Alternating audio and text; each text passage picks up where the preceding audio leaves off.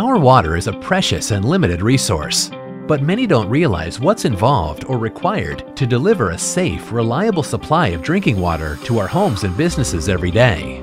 It is easy to take for granted when we turn on our taps and always get clean, fresh water. In order to secure water for their future, the communities of Lake Oswego and Tigard came together to build a new, cutting-edge, reliable water supply system. At the heart of the system is the updated state-of-the-art water treatment plant, where Clackamas River water is purified to make it safe to drink.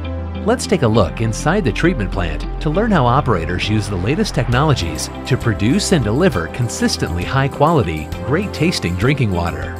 Before it reaches the plant, untreated water is collected and pumped from a new seismically resilient intake on the Clackamas River. It then travels through a large steel pipeline under the Willamette River and to the upgraded water treatment plant. Once the water reaches the plant, it must go through several purification steps before it's safe to drink. The first major step involves settling dirt and large particles out of the water. Aluminum sulfate is added to the river water along with microsand. The alum acts like a dirt magnet, helping the fine silts and particles in the water clump together. The sand provides ballast to these particles, so they rapidly settle to the bottom of the tank, this settling process is known as ballasted flocculation. Next, ozone is applied to the settled water. Ozone is produced by adding electricity to oxygen gas. Lightning storms naturally produce ozone gas, which is what creates that clean after rainstorm smell.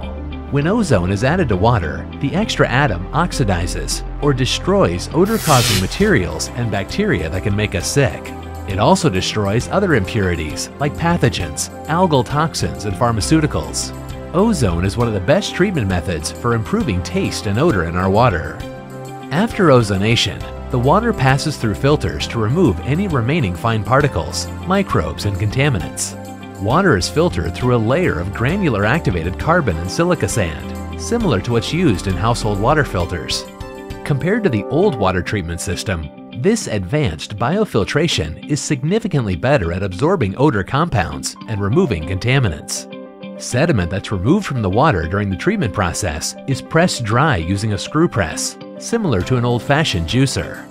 Plant staff are currently exploring ways to reuse and recycle this material into compost and beneficial soil amendments. The fourth and final step to producing clean and safe water is disinfection and corrosion control.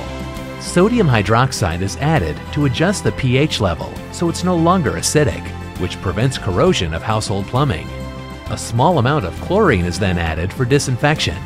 This prevents harmful bacteria and viruses from growing in the more than 400 miles of pipe and storage reservoirs throughout Lake Oswego and Tigard. This combination of conventional filtration and ozone treatment allows our new water treatment plant to produce consistently clean, high-quality drinking water that exceeds all federal and state safe drinking water requirements. Together, the new water treatment plant and supply system will provide Tigard and Lake Oswego with the highest quality water and reliable, sustainable service for decades to come.